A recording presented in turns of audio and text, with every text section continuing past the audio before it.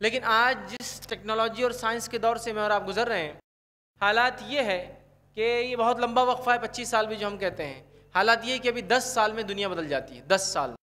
जिसकी मिसाल लेना है तो दस साल पहले जो हैंडसेट्स आप यूज़ करते थे, आज आप में से बहुत कम यूज़ करते और जो यूज़ करते हैं, लोग उसको ऐसे देखते हैं, ज़माना ख़दीम की कोई चीज़ ला लिया उठा के ऐसे देखते हैं उसको। अरे, अब तक स्मार्टफ़ोन नहीं आया हाथ में।